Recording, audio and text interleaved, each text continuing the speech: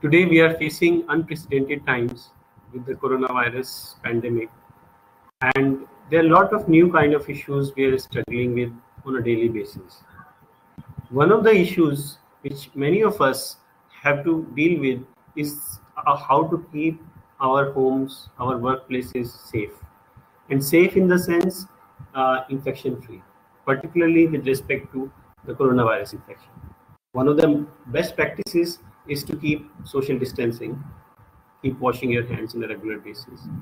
But also, if there is a exchange, I mean, if you have touched any surface, you've brought in something from outside, you're going to an office place where other people are coming, how do you ensure that surfaces and living environment remain clean? One of the substance which we use and we are uh, actively using these days are disinfectants and we are using them uh, to ensure that we don't pick up uh, this, this the space around us remains clean but many of us are not aware of the effects uh, or rather harmful effects these disinfectants can produce so this presentation is about understanding science of these disinfectants how they work what are their properties and when to use them so that we can make wise decisions about their use. Before we understand disinfectant, first we must understand about the virus which we are trying to disinfect. In this context, I'm going to present some um, information which is based on research literature, which is available so far on the latest novel coronavirus. And these are this data is not based on experiments done by me, but I'll do my best to present the results. Please note that the results I'm presenting are for external use on materials and human skin only. And this does not apply for internal treatment. That means it cannot be taken for medicinal uh, intake for patients inside the human body. And the third thing, I'm only discussing substances that are uh, in common use at household level. I'm not discussing certain substances which are recommended for clinical settings or surgical settings. So we are largely talking about the novel coronavirus. However, there have been a lot of human coronaviruses uh, known so far. And sometimes talk, talking about coronaviruses, many results get mixed up. To clarify, first let's let's try to understand the kind of human coronaviruses known so far. So as you might have heard so in many uh, articles and many fora, coronaviruses are not new to humans. The first human coronavirus was identified in 1965 when a young boy was infected and the viral sample was isolated from his body. This coronavirus was titled as HCOV B814. HCOV stands for human coronavirus and B814 was the uh, code assigned to it, but the sample could not be preserved. However, later on, many coronaviruses were found prevalent in humans. One of the most prominent of these is HCOV229E. This has been found in people from almost all continents of the world so far. Along with 229E, OC43, these two coronaviruses are now found to be causing common cold-like symptoms almost at the change of season and particularly in the cold winter months they cause runny nose, which goes on for seven to eight days, some in some people five days. Then later two other uh, viruses, coronaviruses, NL63 and HKU1 were found to be causing lower respiratory tract problems. In general, these four coronaviruses are uh, found quite prevalent, but they were not known to be fatal. At the beginning of this century, in the year 2002, se severe coronavirus infection broke out in China in December 2002. Uh, the disease associated with was called severe acute respiratory syndrome or SARS, and the coronavirus was labeled as SARS-CoV. This virus infected about 40,000 people, of which 800 died. This was the first fatal case of coronavirus infection and it really made the research community and the public health community wake up to realize that coronaviruses can also be fatal. Later on, in 2012, in Saudi Arabia, uh, another variant of coronavirus, which was called as MERS, Middle Eastern Respiratory Syndrome, COVID.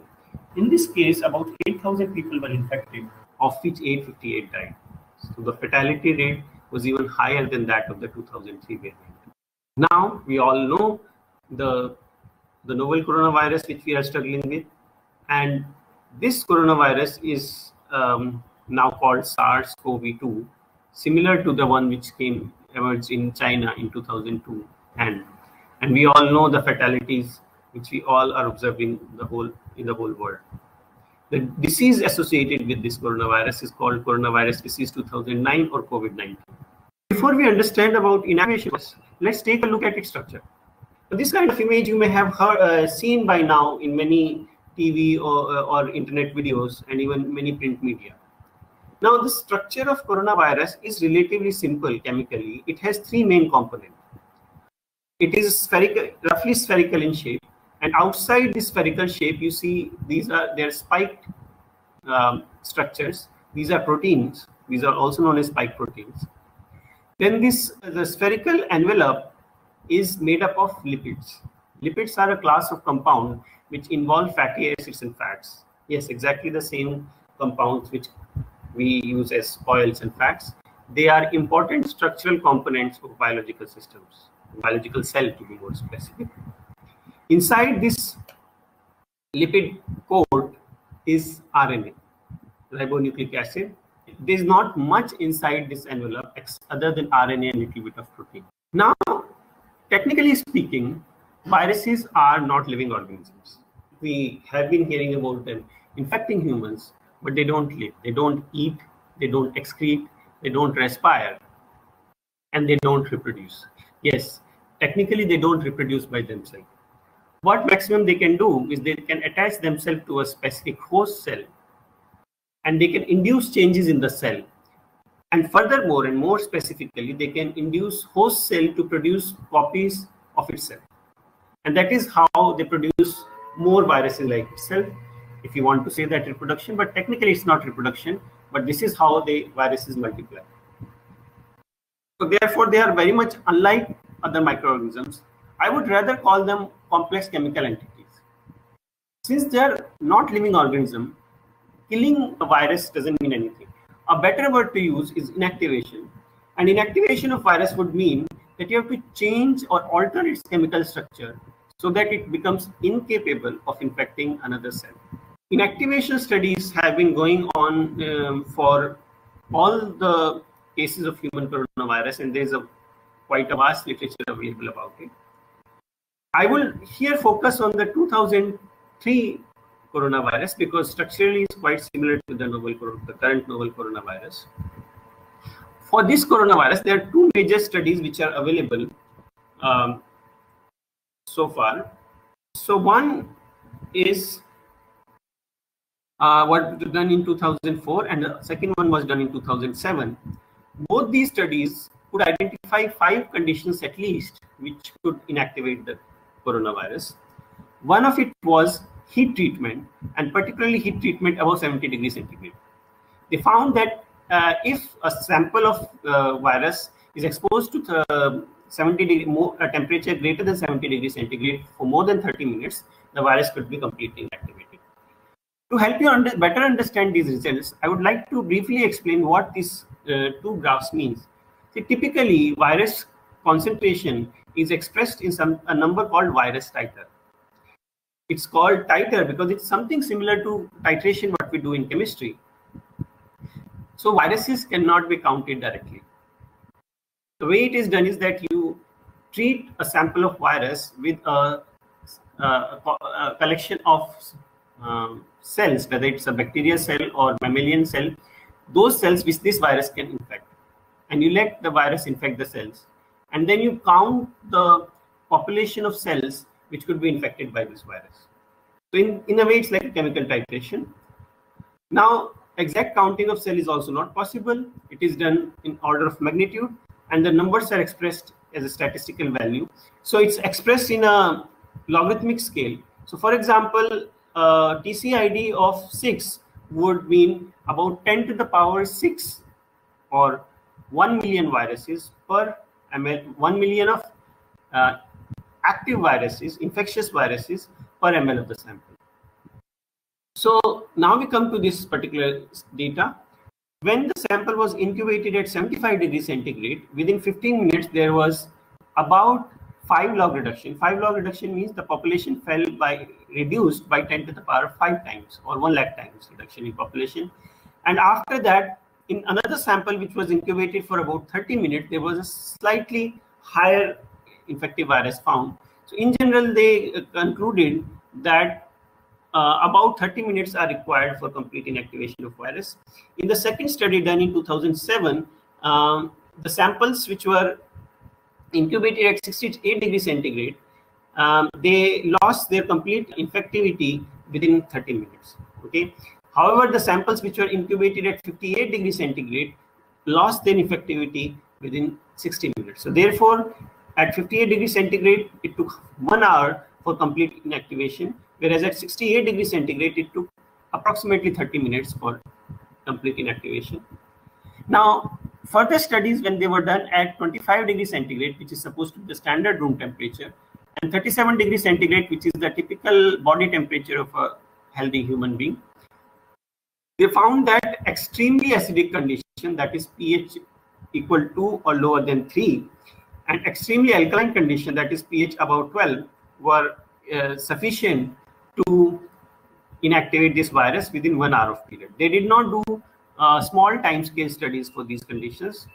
They also tried formalin and glutaraldehyde. You may be knowing that these are two sterilizing agents which are used to um, store uh, many biological samples and organs in biological labs. They are quite toxic in nature. Even these substances were not very effective as compared to the acidic and alkaline substances. These were not so effective in inactivating the SARS-CoV. It took one to two days when mixed in these two substances to inactivate the virus. On the other hand, ultraviolet light of wavelength 254 nanometer was sufficient to inactivate this virus within 10 to 15 minutes when the light was irradiated from a distance of about 3 centimeters. Um, another important piece of information was that at 4 degrees centigrade, inactivation was not complete in extreme acidic conditions and at in formal, formalin, formaldehyde and glutaraldehyde. Therefore, at lower temperature, the virus was much more stable. The 2007 study did further investigation of the alkaline pH conditions because they found these were more relevant and more interesting because these were also effective at lower temperature conditions. They found that at 37 degrees centigrade at pH 11, there was negligible effect in the population of virus uh, even for one hour. That means this was much more sturdier than other coronavirus. To give you an example that other coronaviruses, particularly 229E and OC, the other variants, they were inactivated significantly above pH 9. And that is why many, you may be uh, hearing a lot in the current literature that alkaline solutions above pH 9 can help inactivate coronavirus. This may not be true for current coronavirus, and particularly for the 2003 variant, we know that it requires stronger pH, uh, higher pH conditions. So at pH 12, there is a 5 log reduction in a period of one hour. Now, when they went to pH 13, interestingly, they found instantaneous 3 log reduction within first minute of treatment. Here, you will see the initial virus, virus titer taken was higher than what was the, there in the earlier study. Here you see a log scale of 10, which means 10 million viruses per ml, which required much longer time for complete inactivation. So at pH 13, uh, it took about two hours for complete inactivation at 13.5 and at pH 13, it took about five hours for complete inactivation. So if the surface has a lower infection as corresponding to 10 to the power 6 virus uh, per ml, then it may be inactivated in less than one hour also. Now, till March 2020, there were no study available on inactivation of the novel coronavirus. Therefore, this Journal of Hospital Infection, a prominent journal in the field of public health care, uh, healthcare, particularly in the hospital settings, did a review of, uh, published a review of 22 studies on human coronaviruses, six coronaviruses which were known before SARS-CoV-2, and they found that certain substances could inactivate the when they defined inactivation as three log reduction, and they found these substances were 62 to 71 percent ethanolic formulation, then 0.5 percent of hydrogen peroxide, 0.1 percent of sodium hypochlorite. And let me mention that concentration which are much lower than 0.1 percent, for example, 0.01 percent hypochlorite solution, were not as effective for inactivation, and 0.23 percent of povidone iodine solution were effective for inactivation of the earlier coronaviruses. Interestingly, other biocidal agents, namely benzalkonium chloride and chlorhexidine digluconate, these are two um, common substances used for antiseptic in antiseptic washes and even cleaning of floors and surfaces. They were less effective. For benzalkonium chloride, in one sample they found almost no uh, no inactivation of virus, whereas in one sample they found close to two to three log reduction of the virus population. Now, in early April 2020, the, a study came in Lancet Microbe. They did a lot of uh, valuable studies on inactivation of the novel coronavirus. And so I'm presenting those studies here. Now, in the temperature dependent studies they did, uh, let me uh, remind you that ND refers to uh, experiment not done and U refers to uh, when there was no virus detectable in the sample taken. So when the study was taken at 4 degrees centigrade, almost no inactivation was observed even after 14 days.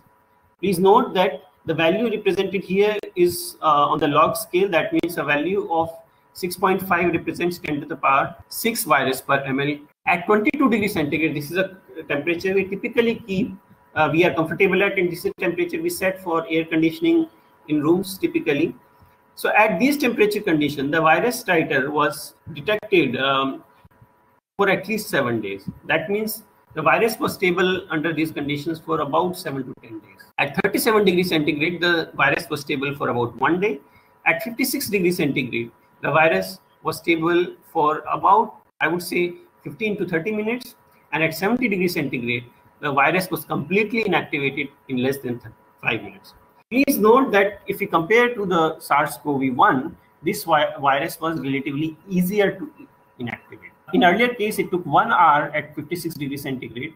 In this case, 30 minutes were sufficient for um, complete inactivation of virus.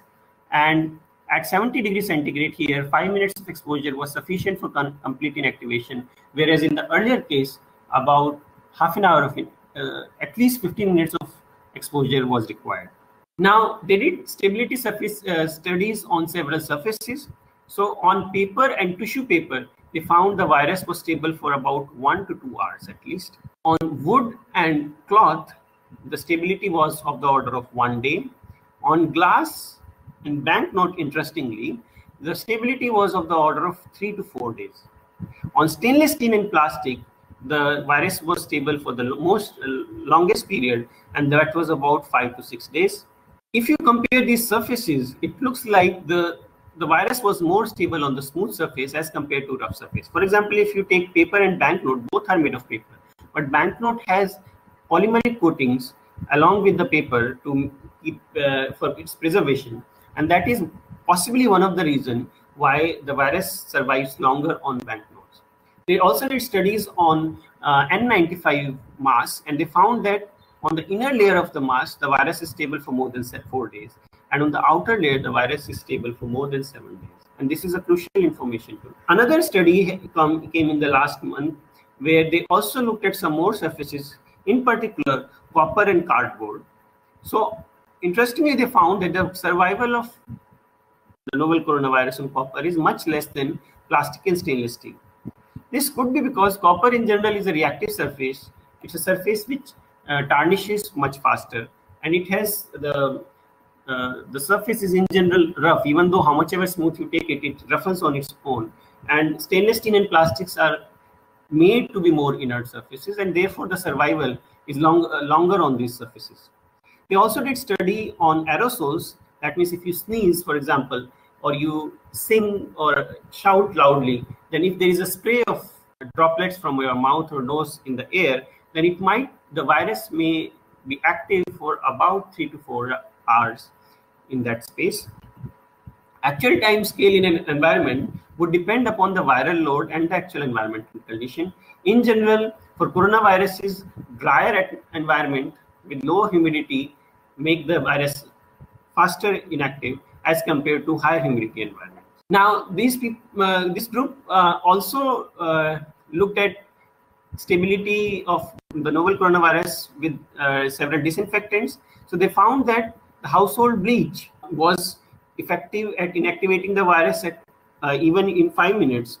If, interestingly, they found that hand soap solution was effective in inactivating the virus within 15 minutes, but in one sample, they found um, there was a significant population of virus left even at, at five minutes. This could be because sometimes in viral suspensions, virus make clumps and the soap may not be able to enter the viruses which were, I mean, it may inactivate the viruses on the surface. It may not be able to access the viruses which are inside the clump and it takes slightly longer time on its own to inactivate all the viruses. And that is why while washing so, um, hands with soap or scrubbing a surface with soap solution, it is advised to do gentle scrubbing so that at least if there is a cluster of viruses, it comes in the solution phase and at least leaves the surface. And then when it remains in the solution, it will get inactivated on its own within few minutes. Now 70% ethanolic solution, povidone iodine solution, interestingly chloroxylenol, chlorhexidine and benzalkonium chloride solutions were also effective in inactivating this virus. This is important information to note because these substances were relatively ineffective for the SARS-CoV-1. Now, this showed that SARS-CoV-2 is inactivated by a wider range of disinfectant as compared to the earlier known human coronaviruses. In particular, SARS-CoV-1. Some of the other coronaviruses could also be disinfected by other substances, but we are comparing SARS-CoV-1 and SARS-CoV-2. This is a good news in a way that we have a wider range of disinfectants which can sort of inactivate um, the novel coronavirus. But we have to be now extra careful in dealing with disinfectants because now we are using disinfectants on an unprecedented scale and there are impacts. Let's start with the decision making process. So, whenever we have to make a call about using a certain disinfectant, we have to first choose what formulation to make. Usually, many of these disinfectant ready made formulations are available in the market, but we need to be aware of the formulation. Secondly, we have to know about how much and in what concentration this formulation or the disinfectant has to be used, how frequently we should use it, and then in what should be the mode of application. There are many ways in which you can do it. You can take a solution and spray it in the air. The second way is you spray it directly on the surface and then mop it. The third way is you take a disinfectant solution, you dip a cloth uh, or a wipe in it, and then use uh, use it to scrub the surface. And the fourth thing way you can use it that you can soak a surface, your hands or whatever has to be disinfected in a solution and leave it for a few, few minutes. Another important aspect which have to be looked at is the safety protocol or the safety procedure which must be followed by a worker doing the cleaning. In this particular uh, presentation, I'm going to talk more about the properties of these disinfectant which can help you make decisions as per your needs and as per the substances available to you. An important issue now we come to are the health concerns from disinfectant uses. So here I'm reading a paragraph from a toolkit which is prepared for early care and education uh, for green cleaning and sanitizing. This is a program which is developed by University of California, San Francisco School of Nursing. So what they're saying, I'm reading as such, we are constantly learning more about the potential health problems of cleaning, sanitizing, and disinfecting products. Some of these chemicals affect air quality and can cause or trigger health problems such as asthma. For example, 11% of people with work-related asthma in California connected their asthma to cleaning and disinfecting products.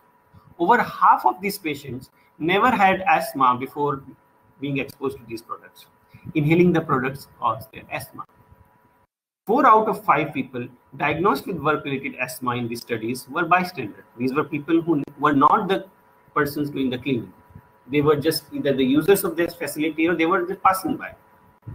So now we have to be really careful that these chemicals can directly cause health hazard.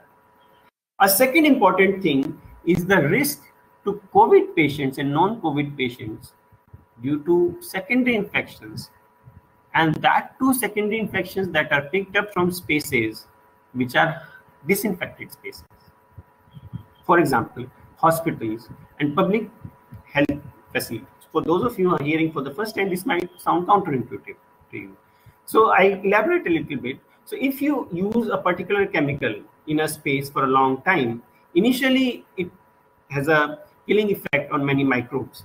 But over time, many microbes, including viruses, can undergo change mutations or changes, and they can slowly adapt themselves so that the this is known as resistant to a disinfectant or antibiotic, and so that they are no more affected by this particular chemical. Now, in that space, so you have you may be using a disinfectant. You think that you have killed all the microbes and removed all the viruses, but some of those resistance bacteria and viruses may still be there. And when they cause the infection, then those infections are not easily treatable by the commonly used medicines and other substances which have been used for dealing it earlier. And as we know that many of the morbidities which are happening to COVID patients are not just not just because of the COVID disease, but also of the secondary complications which are developing. Another important aspect, which is uh, which I would like to highlight here, is that there are a large number of viruses which exist inside and outside our body, which are very important for controlling bacterial infections in humans. For example, even within the oral cavity, there are large number of viruses which are called bacteriophages or bacteriophages, depending upon how you pronounce it. These phages keep a check on the bacterial population. In a single day, a normal human being excretes in the fecal sample about 10 to 10 to the power 12 to 10 to the power 14 bacteriophages. So this is not a small population. And remember when we are using chemicals with the aim of killing all microbes and all viruses around us, we are actually removing or inactivating the phages also, hopefully not. And if we are doing so, then we are increasing the chance of developing infections and decreasing natural mechanisms which exist to fight with these infections. So apart from human health risks, there are other issues which we have to be careful about using disinfectant. And the second issue is that even though we may be using high concentration and high amount of disinfection, disinfection may not be happening. Okay, and this depends on the method of application. I'm going to talk a little bit more about it in the coming slides. Then the third point is that many of these are active chemical substances and they also decay with time. So they lose potency on storage or on the way you dilute them or you apply them. And therefore, we have to ensure that the substance being used retains its potency. Fourth point is that these chemical substances react with different materials. And sometimes they may be causing damage to the material on which you apply. So you cannot apply all disinfectants to all surfaces. And sometimes the products which are formed after this reaction can also be harmful to human beings. Fifth and very important point is that these chemicals harm natural environment and ecology. And we cannot ignore this point because the COVID disease, as we know, is has its origin in ecological imbalance in the world which we are facing today. Now let's take a look at some of the common chemicals which are used in disinfecting and sanitizing substances, and particularly which are effective for SARS-CoV-2. So first look at the substances which are effective for SARS-CoV-2.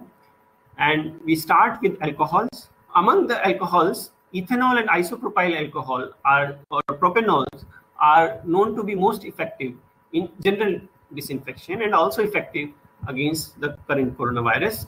Their structure, chemical structures are shown here. The way they work is by denaturing and coagulating proteins. So in particular, in this virus, there are spike proteins. So alcohols can coagulate protein. What is very important to note that the alcohols are effective in denaturing proteins at concentration of 60 to 90 percent. So if you have a formulation which has alcohol less than 60 percent, it alone may, uh, may be ineffective in inactivating the virus. And the most important thing, please note this carefully, most important thing is that pure alcohol by itself is ineffective in inactivating. It needs some water to denature the protein. So please note that in some places you may be using a pure alcohol from a laboratory grade reagent uh, bottle and then you apply anything that you have done even a better job of disinfection, that's not true. So you need some amount of water in that alcohol formulation for it to be effective. Second important thing to note is that alcohols are not effective against bacterial spores. So sometimes if you are using this for disinfecting uh, space or a patient's skin, which there, there is another wound or another clinical problem, alcohol by itself will not be sufficient. There have been cases where there have been outbreaks of an infection just because the person used alcohol-based disinfectant and felt that everything is safe, and then the spores did the job. Certain precautions to be taken care when alcohols are used. So alcohols evaporate fast and minimum of 20 second contact is required when you're using alcohol based disinfectant or sanitizer so sometimes you may be using very little amount of this uh, formulation or you may be applying to a surface that's hot. So the 20 second of contact time is not achieved and therefore disinfection is not achieved. Second important feature which you have to be careful about is that alcohols are flammable. And sometimes the flame of alcohol may be too faint to be visible but yet it's there. It must be stored in cool and well ventilated area away from easily flammable substances. Secondly, a sanitizer or disinfectant bottle containing ethanol must not be stored or used near hot appliances. Last two months, we have come across news or cases of people who used kept this bottle in kitchen. They applied alcohol-based sanitizer on their hands and immediately switched on the gas stove and their hands got burned. So this is a serious issue now. Many institutions are opening, and in some places you may be using machines, ovens, furnaces, or cooking stoves. And please make sure that you do not keep alcohol-based sanitizers close to these spaces. Alcohols can react with certain plastics and rubbers, and therefore can, they can damage certain parts of instruments. So you cannot use alcohol-based sanitizers or disinfectant on many of these surfaces. Only glass or plastics which are relatively inert or stainless steel, you can use this alcohol-based sanitizers. Next, we look at sodium hypochlorite, disinfectant which is being recommended for a large number of applications. It's true, it's very effective. It's also known as hypo, uh, sodium, uh, sodium oxychloride or bleach solution. It's an ionic compound which when dissolved in water, it breaks into Na plus and OCl minus. Uh, it reacts with water to produce HOCl and NaOH. So NaOH is a, a strong alkali. Therefore, these solutions are slightly alkaline in pH. The mode of action, there have people have been uh, writing that nascent oxygen or nascent chlorine may be produced. That may be true partially, but majority it is the HOCl species which reacts directly with protein, enzymes, DNA, and lipids, and it inactivates most microbes and viruses within 0.1 second. So it's a very fast acting disinfectant, no doubt about it, but it's also highly reactive and it has highest reactivities with acids. If you mix it with hydrochloric acid, even very dilute, it produces chlorine gas, which is very toxic. And if you mix it with even other dilute acids, it produces other oxychlorides, which are also equally and sometimes more toxic. Now, Another problem with sodium hypochlorite is that these solutions are not stable over time. In particular, it decomposes below pH 11. As I've said, therefore, it should never be mixed with any acid for any kind of cleaning unless done under expert guidance. It decomposes easily about uh, 25 degrees centigrade. Even at 25 degrees centigrade, there is a very slow decomposition which is going on. Therefore, it must be stored at cool places. Avoid hot places. If by chance you have no option you have to keep a can or a bottle containing sodium hypochlorite concentrated solution in a hot place you may want to wrap a wet cloth around it so that it remains cool. Contact with metal can also break down this chemical. So don't store or dilute in metal container. Please be careful about it. And light exposure also makes uh, this solution to break down. As I've said that sodium hypochlorite has risk to human and other organisms. A very important thing to note about sodium hypochlorite is common disinfectant which has been used for about 100 years now. And this or associated you know, bleaching powder, calcium oxychloride, they are used in um, disinfecting water supplies coming to our household taps. So that means a lot of our environments, living environments, are already exposed to certain doses of chlorine. And there are a lot of bacteria which are known to develop resistance to chlorine. or HOCl. Therefore, this cannot be taken as a complete disinfecting substance. This must be used after cleaning using soap and detergent solution. And this has to be used as a secondary, second round cleaning. Now we look at hydrogen peroxide. This is a solution you may have come across when you visit dentist. This is the colorless solution which is given for you to rinse or gargle after any procedure is done. It is also used in many laundry and household cleaning formulation, also used as a bleaching agent. Now the way it works is that it has a same component as water, oxygen, and hydrogen. It breaks down to produce OH radical or the hydroxyl radicals. These hydroxyl radicals are extremely reactive species. They can attack lipids which are there in the membranes, in the outer um, envelope of a virus or bacteria. It can attack membranes and nucleic acids. Now, one thing we have to understand about free radicals is that many biochemical processes involve free radicals and these processes are mediated by enzymes. So whenever a free radical, external free radical encounters an enzyme, enzyme can neutralize it and therefore stop it from acting.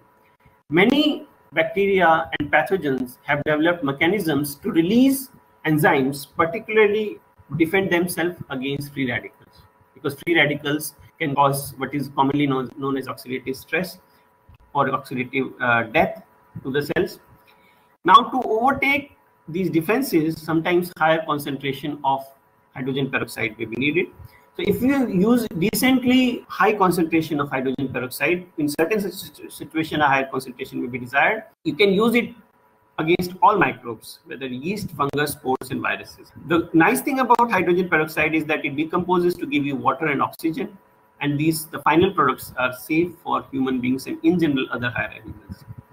In vaporized form, in particular, please note this is a recent study which has come that hydrogen peroxide spray can be used to disinfect N95 masks. Very important, the surgical masks also, which cannot be cleaned or disinfected using alcohol or bleach solution because this can affect the performance of these masks. Another problematic thing about hydrogen peroxide which to pay attention is that it is not effective on biofilms. So to give you an idea, some of you may be knowing about biofilms. Those of you are not familiar. Biofilms are thin slimy layers which develop on any surface which is exposed to bacteria or microbes for a certain period of time. So for example, if you leave a bucket full of water in your bathroom, many times you will find a slimy layer developing on the surface of the bucket. Okay. In kitchen counters, in bathrooms, on the walls, tiles, you will see many times slimy layer developing. So these are polymeric layers which are created by bacteria and bacteria usually reside in these polymeric layers which are relatively safer places for bacteria. In addition, there may be viruses and phages which may be residing inside these spaces. So biofilms, eh, if you have a very reactive substance like hydrogen peroxide, it is very fast to react. So it reacts with substances on the surface of biofilm. So it is not able to penetrate or diffuse into the biofilms. And therefore, a lot of infections may remain if you just wash with hydrogen peroxide without scrubbing. If you're able to do the scrubbing, yes, you can deal with this problem as well. And just like sodium hypochlorite solution, hydrogen peroxide solutions also break down over time. So old solutions may have lower strength. In particular, if you have organic matter which has certain enzymes present, so enzymes can trigger or make the breakdown faster of hydrogen peroxide. Now, other conditions are similar that temperatures above 25 degrees centigrade, contact with metal, or light exposure can easily reduce the concentration of the substance. Therefore, you might have noticed that the substance is stored in almost uh, dark black colored bottles and also kept in dark spaces. Now let's look at povidone iodine solution, or this is also popularly known as betadine solution. This is a solution of iodine complex with povidone. So povidone is a water-soluble polymer of vinyl pyrrolidone. This is the structure of uh, this polymer I'm shown, showing here. The purpose of this polymer is to keep iodine bound and complex so that the concentration of free iodine is very low. The reason why this formulation was developed because earlier tincture iodine was in wider use and tincture iodine had high concentration of iodine which sometimes may be toxic in certain situations. So tincture iodine was a form, uh, formulation of iodine mixed with potassium iodide and dissolved in ethanol and water mixture. Now, in uh, povidone iodine, small concentration of iodine exists at, at, any time. When this is consumed or, uh, or reacted with any external substance, then more iodine is released from the from the polymer based on equilibrium. And therefore, its toxicity level under all conditions remain low. Usually, iodine solutions are less used in um, disinfection because color stains may appear. Reaction wise, iodine has similar reactions as chlorine, but they are relatively less mild. It re reacts with lipids and membrane compounds in microbes. It also blocks respiratory chain and coagulates nuclear material, that is the DNA and RNA present in any microbe or virus. This can be used as a hand disinfectant. Important to note that because it has slightly lower reactivity than chlorine-based substances, it doesn't react fast and therefore it diffuses deeper into skin if you are using for hand wash or any surface it diffuses deeper and therefore it effect disinfecting effect persists for longer for example if you are using alcohol or other disinfectant the effect may go may be persistent on your skin for about one to two hours whereas with povidone iodine solution the disinfecting effect is persistent uh, for about 20 hours so this can be a very useful hand disinfectant, particularly when you are uh, working in a setting where you are exposed to infection for long hours. For example, waste management settings, people who are handling medical waste or even other kind of infectious waste. It has low toxicity and there are very rare cases known for allergies by povidone iodine. And the most interesting thing is that iodine solutions have been in use in hospital settings and many other uh, healthcare settings for more than 150 years. And yet, this is one substance for which there are least known cases of resistance bacteria developing in plant. This is a good news because that means we can use it particularly in spaces where we doubt resistance bacteria may be developing. And important thing is that this substance is also active over biofilms. This is because because iodine is slow reacting, therefore a lot of it can diffuse within the biofilms and then act on the viruses and bacteria which is hiding inside the biofilms. Okay, let's look at chloroxylenol. It's also known as parachlorometaxylenol, PCMX. This is the component of Dettol antiseptic washes known for more than 90 years. The chemical structure of this compound is shown here. The way it acts is that the hydroxyl group on the phenyl ring reacts with membrane proteins and it changes the structure of the membrane proteins and hence causes leaks, that causes leaks in the membrane of virus or bacteria. And the other uh, molecules can enter the membrane and then react further with protein and nucleic acid and therefore deactivate them. However, complete mechanism of action of this substance is not fully known and it's known to be active on many bacteria, fungi and viruses, but not spores. And there are contradictions in results on efficacy with bacteria and safety for users. It's quite interesting that this is substance is in use for more than 90 years and yet uh, there is not complete clarity on its mechanism of action. This is a compound which has low water solubility and low volatility and therefore the formulations are prepared in small amount of ethanol in water. As a compound, this is stable in light, low heat and humidity. Therefore, you may have known that Dettol or other chloroxylenol based formulations can be stored for one to two years without any loss in potency. It's a good thing.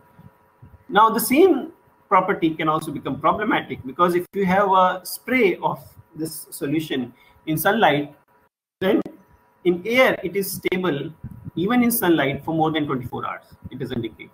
In sewage, it has been found to be stable for more than seven days.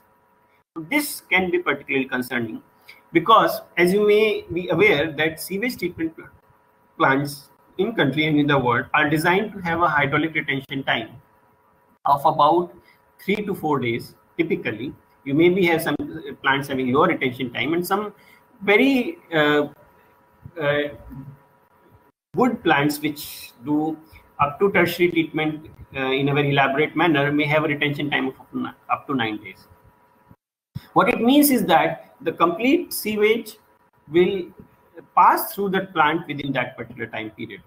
Now, if you have a substance which is persistent in sewage for more than seven days, and this substance keep on keeps on killing bacteria, then it creates problem for the sewage treatment because sewage treatment is done by bacteria and microbes which feed on sewage and breaks it down.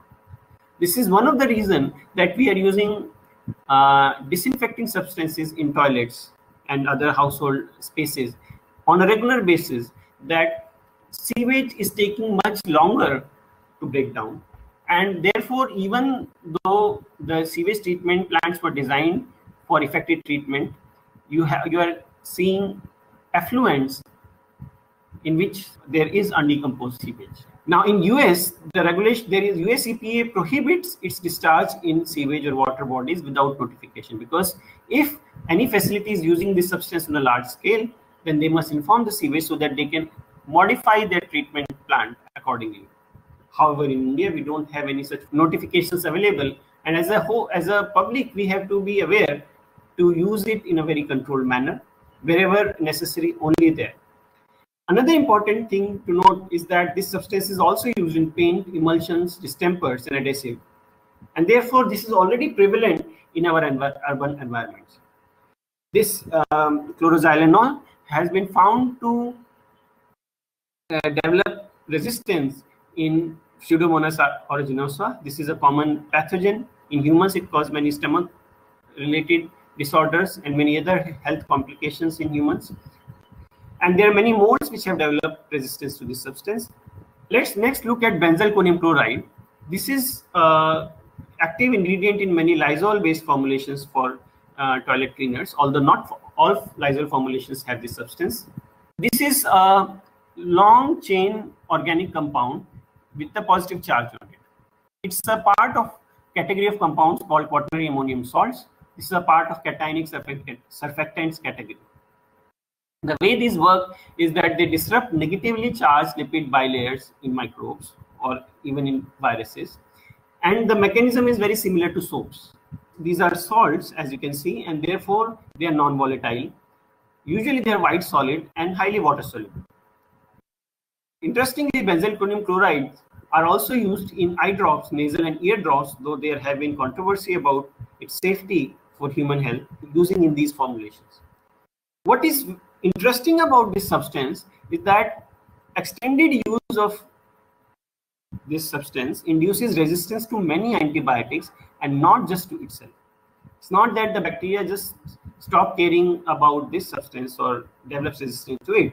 There are many mechanisms, many indirect pathway, pathways it induces and makes bacteria fight or stay alive in presence of many other antibiotics. And this research is this is a recent research which has shown that how these mechanisms operate. This substance is toxic to many fishes and small animals, but it has low toxicity to humans. I must mention though that it has, uh, unlike chloroxylenol, it does undergo biodegradation relatively faster than the chloroxylenol. Next, let's look at chlorhexidine dichlorogluconate. It's also a quaternary ammonium salt. Uh, that's a uh, cationic surfactant. It is water soluble and it's used in several antiseptic products.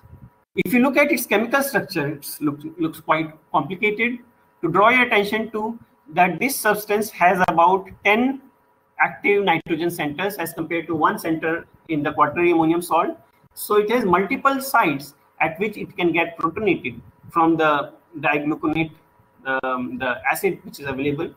And it can therefore bind to the negatively charged lipid walls at multiple sites. And therefore it is much faster in causing leaks.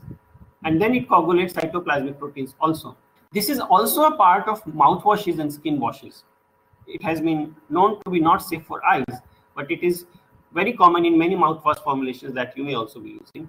This is uh, has a very fa fast and high activity, as I mentioned, against bacteria and enveloped virus, and therefore it is active against um, novel coronavirus as well, but not so much against spores, fungi, and non-enveloped viruses. It has high residual activity because it it doesn't evaporate fast, it doesn't washes away extremely fast, it can stick to your skin or surfaces for some time, although few, but there are some studies which have found resistance in some pathogens. Although the studies also claim that higher doses which are used in clinical settings are sufficient to deal with those infections. Now we come to soaps and detergents. So technically soaps and detergents are not disinfectants. The, what they do is that they, they are long chain fatty acids or sulfonic acid. These are negatively charged entities as compared to the positively charged entities as you saw in the quaternary ammonium salts. Now these dissolve the lipid layers and proteins and form micelles. You may have read about this in your uh, high school science uh, textbooks. They are cleaning agents, but as I have described, they have inactiv inactivating effect on most bacteria and viruses.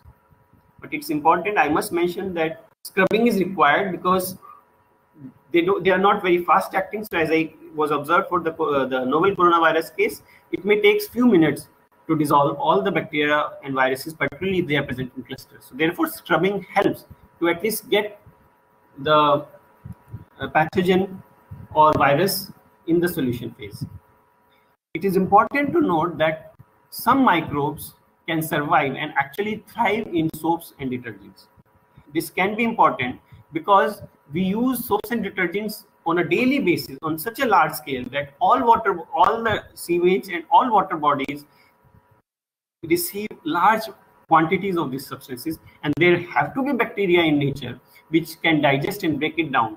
Because if we have insufficient population of these bacteria in our environment what you see is a lot of foam and surfactant coming up in water bodies. This is what is this is what we are actually observing in many rivers and lakes these days.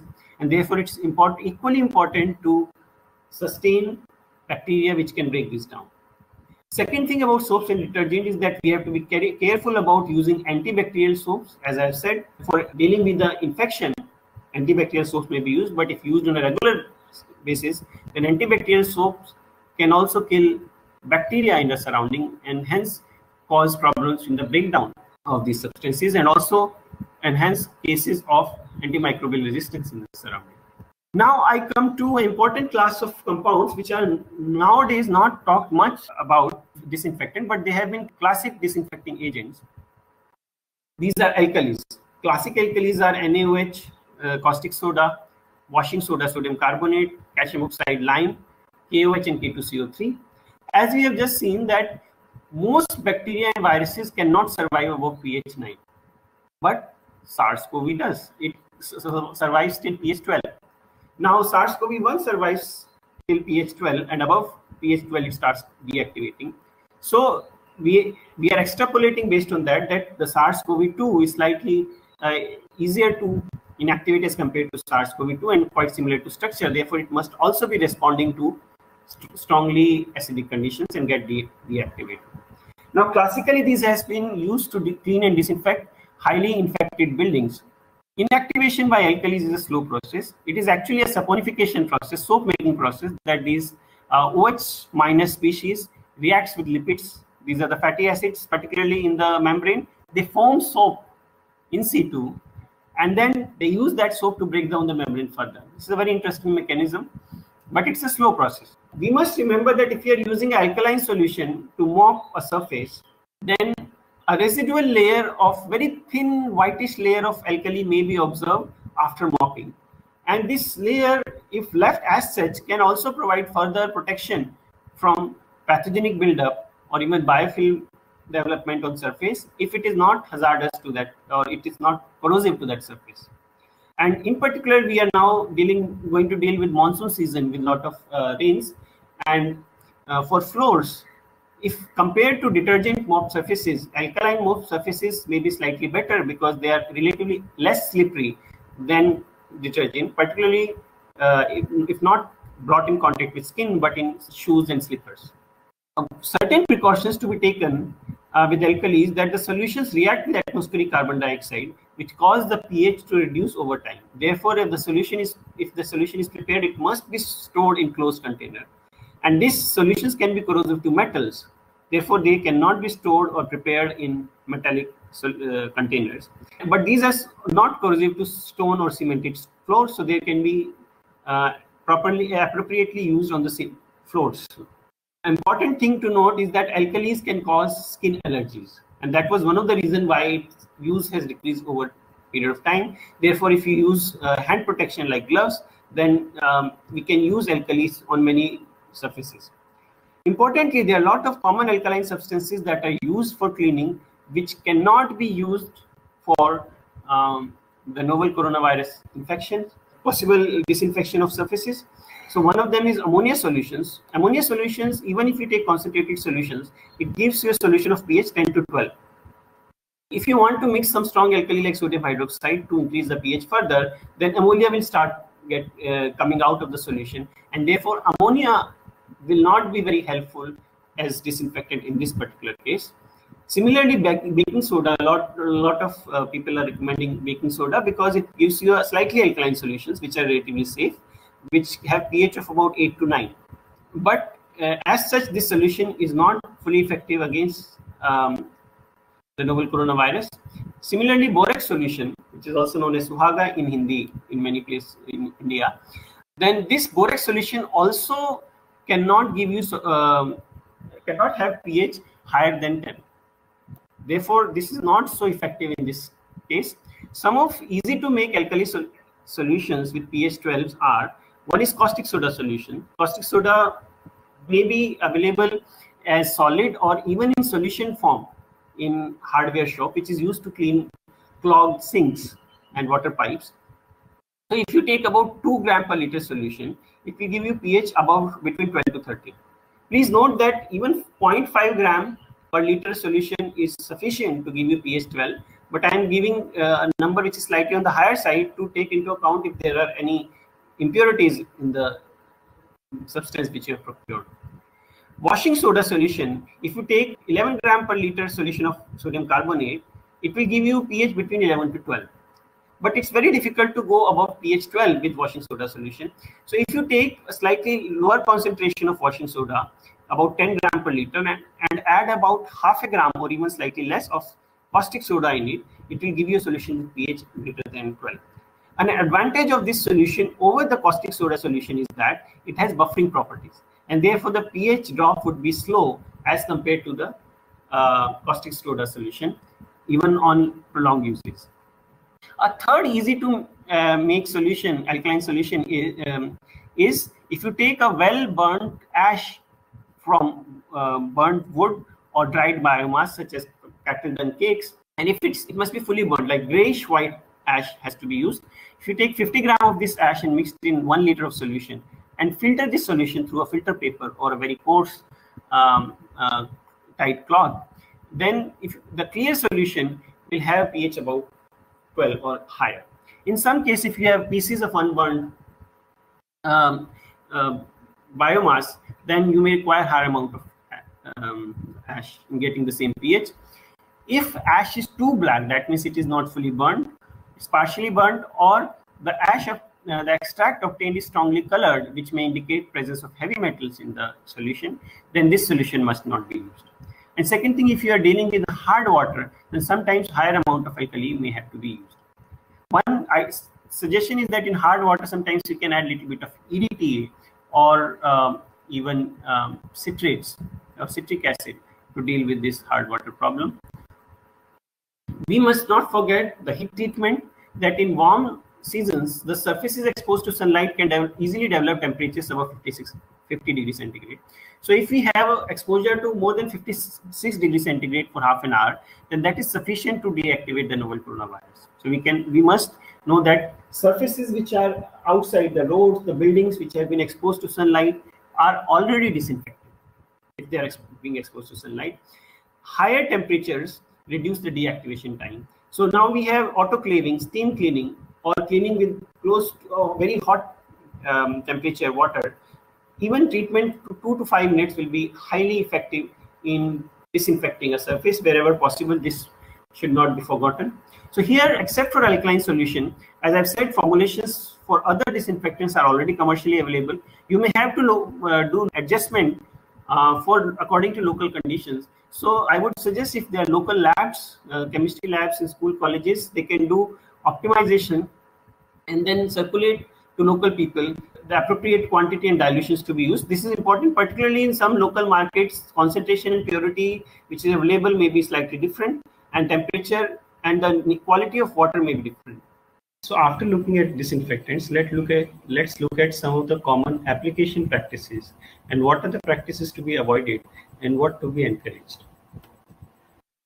In last two months, you may have heard that in an effort to uh, ensure disinfectant in public places, particularly people coming and going out of institutions. Several places sanitization sprays have been done and particularly sanitization tunnels were set up in which um, people entering were sprayed with disinfectant solutions. However, later even Ministry of Health and Family Welfare Government of India issued advisory against disinfectant tunnels because there was a possibility that these disinfectant solutions can cause harm to eyes, skin, and if inhaled, they can also cause uh, respiratory problems, allergies, which can further complicate matter in COVID as well as non-COVID cases. Uh, US Department of Health and Human Services has already been recommending against disinfectant fogging even in patient care areas. So this is a recommendation um, I'm quoting from um, uh, the current website, but the recommendation exists since year 2003. Now, uh, WHO also in May 15, very recently, issued an advisory against disinfection fogging in public spaces. And they gave a very important reasoning about it.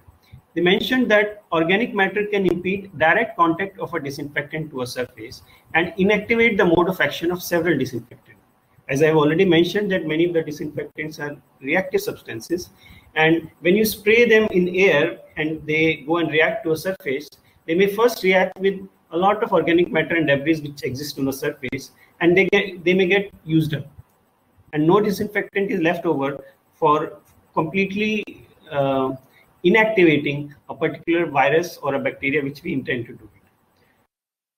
They have gone further to write that in indoor spaces, I'm reading from um, portions of that advisory.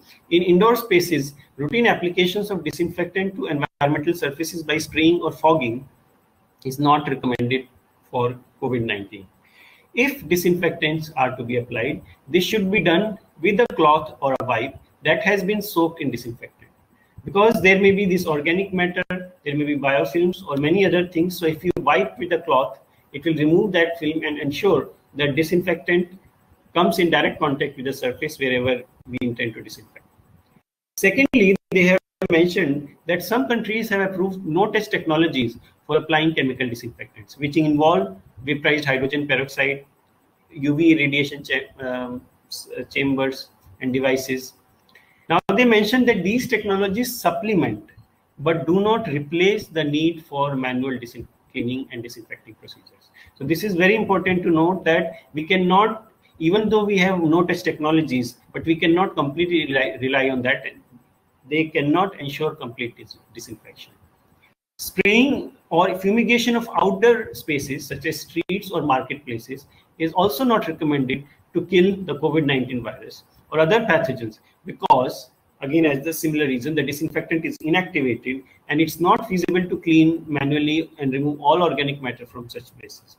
And more importantly, what they have mentioned, that street and sidewalks are not considered to be reservoirs of infection for COVID-19. So we have to be very careful that are we wasting a lot of our efforts in doing efforts, doing things, spraying at spaces where actually it's not needed. Rather, we, we want to focus our efforts on disinfectant practices, which will help achieving the necessary disinfection. I would also like to mention and um, declaration by Association of Occupational and Environmental Clinics in USA, they have declared sodium hypochlorite as an asthmagen because it can irritate, uh, it can cause, cause oxidate, oxidative damage to inner lining of our respiratory system and cause many allergic um, problems in many people. So while we have been recommending what not to do, let's look at what are the best practices for cleaning and disinfecting. So generally during all times, if we are to clean our hands or surfaces with a particular cleaning agent, gentle scrubbing is always recommended because it ensures that whether there is a biofilm or there is a cluster of viruses or pathogens which are sticking to the surface, they get cleaned out, which doesn't just does not happen by mere contact with the soap solution. Secondly, cleaning or cleaning mops or clothes should be well soaked for 10 minutes in soap or detergent solution before and after cleaning. This is to ensure that no, no active virus gets transferred from one surface or from cloth to the surface you're going to clean. Soaking in 5 to 10 minutes in a soap solution ensures that even if there is a little virus or uh, pathogen left, it will get dissolved in the soap solution. Third thing is that if you, if at all we are using aggressive solutions such as hypochlorite or peroxide, it must be used after a cleaning by soap or detergent solution because it can supplement you know the disinfection of space but it cannot take the place of soap and detergent cleaning. And fourthly safety gears must be used gloves and particularly face masks whenever we are using relatively more aggressive cleanings now we come to extremely infected space because for example if you have a patient at home um, where there is a likely, likelihood of infection spreading or you are managing a public space or workspace where you have a lot of people coming in and going out some of them may be infected in general, we should not forget that soap and detergent must be used for general purpose cleaning. Hypochlorite, iodine solution, hydrogen peroxide, or other fast acting disinfectants may be used wherever fast disinfection is required. Um, alcohol based sanitizers, povidone iodine solution, and soaps should be used for hand sanitization. As we some of us already know, it's being recommended. Um, these cause dryness to skin, therefore moisturizing cream or oils may be used for adding skin dryness. Uh, in confined spaces, if a significant uh, infection is noted, spraying may be done using hydrogen peroxide preferably, or less preferably hypochlorite. And if it is done, it must be done in absence of patient, and there must the space must be left free for about few hours, about 10 hours before another, the, any patient or any person comes to inhabit that space. Then wherever possible, steam or hot water treatment must be considered for cleaning or treating heat stable surfaces, particularly metallic surfaces, ceramic surfaces, because these do not leave any residue and eventually the place is much safer. And for such spaces, all cleaners must be given full body protection, at least for face, hands, and feet. And the clothes which they wear, they, it might be nice if they can wear a overcoat or something to protect their regular wearing clothes. And whatever clothes they are wearing must be washed after they have done disinfection of this space or cleaning of this space. Now, for regular cleaning of space, particularly homes and public spaces, as I've already mentioned, I'll add a few more important things. Soaps and detergent, again, for regular cleaning of clothes, hands, and high contact surfaces. For example, door handles, water taps in bathrooms and toilets. These are particularly important things for every time we don't have to clean these spaces, high contact surfaces with a disinfectant. Soap cleaning is quite sufficient for most cases. Now, we may want to consider alkaline solutions for cleaning and persistent sterilization of surfaces, particularly of floors, cooking and eating areas such as canteens and bathrooms, because these are the places where biofilms uh, can usually tend to develop more often. And if the water is hard, some small amount of EDTA or even citrate um, or citric acid can be mixed to um, to deal with the hard water problem. As we have mentioned that coronavirus coronaviruses in general and the novel coronavirus is quite stable at cold surfaces. Therefore, cold objects and surfaces should be paid more, paid more attention with respect to cleaning. For example, cold food packets such as milk packets, storage spaces such as refrigerators should be cleaned with soap water, hydrogen peroxide, or any other alternatives based on food safety considerations. Wherever possible at other places, heat or steam treatment should be considered. Ventil the spaces must be ventilated. We should try wherever it's possible to expose a room or a space to direct sunlight for at least half an hour to one hour in a day. Simple water-based cleaning must be done wherever no infection is suspected. For example, if there is a room which is very little used or where you are uh, only the household members are staying, they are not going out too much, then water-based cleaning is sufficient. There is no need of using disinfectant regularly. If at all, at some places disinfectants have to be used, it is recommended to use multiple methods of cleaning and disinfectant must be used in cycles to prevent antimicrobial resistance. For example, if you are using chloroxylenol, chlorhexidine, or benzalkonium chloride based formulation, use them every two to three weeks.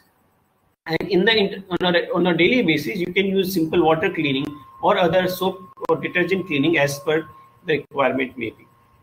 Now, in busy marketplaces and mandis, this is this is one of the biggest concern nowadays, where a lot of crowd comes and a lot of vendors also come for selling. And in some such places, many vendors may not be able to afford more sophisticated um, sanitization practices. One simple solution could be to keep cotton cloths or towels that are wetted with soap, detergent, or alkaline solutions, which may be provided by the local market authorities, or any other non-volatile disinfectants. And then these clothes can be relatively, you know, they should not be dripping with water. And these clothes can be used for covering food stocks, such as food baskets or something. Um, and also for quick wiping of common use surfaces, for example, payment counters, because these are constantly touched by um, shopkeeper as well as customers. This practice is similar to what we um, commonly do uh, with disposable disinfectant wipes. But here I am not recommended disposable wipes because again, that would increase the waste. And moreover, we are already dealing with a big waste problem. I, I'm just coming to that. Such a practice can really create transmission barriers in busy marketplaces and pre prevent food stocks from getting contaminated. So there is, there is a lot of other public surface infrastructure that needs to be regularly sanitized because of high use by patients or service staff who are interacting with the public health services. Uh, proto uh, protocols have been suggested by NIUA and Government of India. Uh, now here I'm suggesting alternatives because there one of the common uh, disinfectant which is suggested is hypochlorite. Yes, it is it will work, but there are some other safer alternatives which, if available, can be used. For example, for containers, bins, trolleys, which carry medical waste or any other kind of infectious waste, washing soda or lime powder may be used even as a dry powder, may not be in the solution form. And if you leave little bit of washing powder at the bottom of the container and with the uh, waste bag on the top of it, this lining can also help reduce odor in the um, waste bucket or the bin and intermittently, the bins can be washed with hypochlorite with or hot water solution. Hot water solutions are also quite effective in such situations. Next, we have vehicles which are used to, trans uh, to transfer sometimes the waste, sometimes other sensitive material, and also which have high risk of getting contaminated. So the storage spaces in these vehicles can be cleaned with detergent solutions on a regular basis. Hypochlorite or hot water may be used on occasional basis. One more uh, material which can be used for these spaces is hydrogen peroxide if it is available. Now we come to vehicles and particularly sitting areas, for example, in cars, trucks, or in uh, public buses. Um, hydrogen peroxide sprays can be done on the seats. A better alternative would be, if, if it's possible, to use cotton sheets to cover the seats. And after the user, user has used them, these can be washed regularly with detergents. And particularly the high touch surfaces such as um, door handles, window uh, window surfaces should be cleaned with the soap or detergent water. Not by directly putting the water, but with the, so, uh, the rag which is soaked in these soap solutions. Intermittently, if regular cleaning of uh, sheet covers is not possible, then the covers may be cleaned with chloroxylenol or chlorhexidine washes um, intermittently because these persist on the surface. And in such emergency situations, these disinfectant can provide um, long-term barrier to contam uh, to, disin uh, to infection from spreading from one person to another if other options are not available. Now we come to toilets, pub pub particularly public toilets, because these are high risk spaces for spread of infection. So in toilets, uh, on a daily basis, detergents and alkaline substances can be used for cleaning, which are highly effective for removing biofilms. they, they, uh, along with them, sometimes citric acid or sodium citrate wash can be used if it is possible, particularly if the water is hard. And intermittently, these spaces can be cleaned with acidic toilet cleaners and hydrogen peroxide because sometimes alkaline substances may uh, produce overuse slight linings of salt deposits which can be easily removed by acidic toilet cleaners. Um, for personal protective equipments and aprons, sometimes alcoholic washes may not be the most appropriate thing. In such cases, I've already mentioned hydrogen peroxide can be used to clean them on a routine basis by sometimes a short spray. And with whenever it is possible or if it is appropriate, then detergent and hot water washing can also be done to the protective or apparels which are used by healthcare providers and particularly um, people handling waste on a regular basis. Another recommendation I would like to make for sewage effluent treatment, particularly now sewage is being considered as one of the possible means of community transmission. And uh, as I've mentioned, sometimes effluent coming from treatment plants may not be fully, um, uh, I mean, we, still have bacterial load. And one of the uh, treatment which is recommended is uh, hypochlorite or chlorine treatment of this effluent. Another option which is possible is ozone treatment, which ozone on reaction with water produces hydrogen peroxide. And hydrogen peroxide, as I mentioned, we have seen it's quite effective against uh, the novel coronavirus and ozone producing machines are quite available, easily available in the market. They are being used in dealing with several um, lakes, uh, um, lakes which had got severely polluted. It has really helped in bringing back the ecology of the lakes. Uh, we have to be very careful that uh, the ozone concentration must be well controlled because high concentration of ozone sometimes can cause um, problems, health problems to humans, animals, and also plants in the nearby vicinity. So apart from using disinfectants, there are many other preventive strategies that can help us in these times. One, I have already mentioned keeping spaces well ventilated, minimizing closed and confined spaces. Secondly, we have to be very particular about minimizing waste production in these times because as you know, all municipalities are already under a lot of stress uh, in dealing with the waste and they are dealing with um, low human resources to deal with more waste being generated. And we have to be very particular about not producing single-use disposable waste because as you all know no one bothers about disinfecting or cleaning a single-use disposable before throwing. It can it is true for whether we use face mask whether we use uh, a spoon. For example if you have used a spoon to eat something you would not bother about washing and cleaning it off before throwing it away. And uh, now i don't need to explain that this is a very important and uh, very likely source of community transmission as plastic surfaces are uh, plastic surfaces are big uh, as coronavirus has long persistent time, several days of persistent time on plastic surfaces. These, sometimes you go to close to dumpsters, you can find these single-use disposable being thrown anywhere on the sides of um, streets or in heaps. And we have to do our responsibility in ensuring proper use and not just disposable disposal of waste which we are producing through our households and offices by ensuring wherever possible to do proper repair by recycling of materials and chemicals, whatever we use in homes and offices, and trying to address biological waste that we are uh, producing by composting it at on-site, whether in homes or offices, and wherever the waste is infectious, it should be incinerated. Now, since the pandemic which we are dealing with is a result of ecological imbalance and uh, harm, we have to take active steps to nurture healthy ecologies we have to do whatever we can to ensure diversity of plants, wild animals, and, and other animals, birds, insects, fungi, bacteria, and viruses in our surroundings. One thing which you can easily do is maintain composting units because composting unit does not just help in dealing with waste, but they are also rich sites for microbial diversity.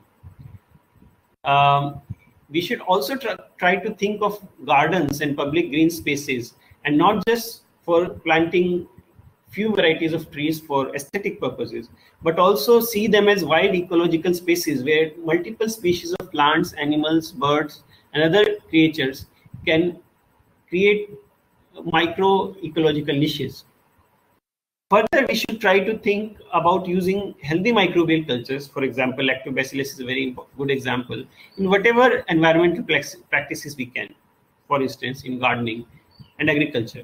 There are many, many options being available nowadays. So in summary, I would like to say that sanitize and disinfect your surrounding, but do it with awareness of the chemicals and their properties.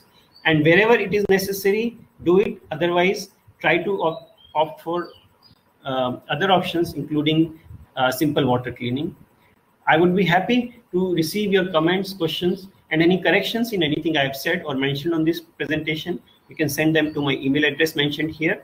And I would like to close by thanking my colleagues at Homi Bhabha Center for Science Education for the valuable discussions and feedback they have given on this presentation. Thanks a lot.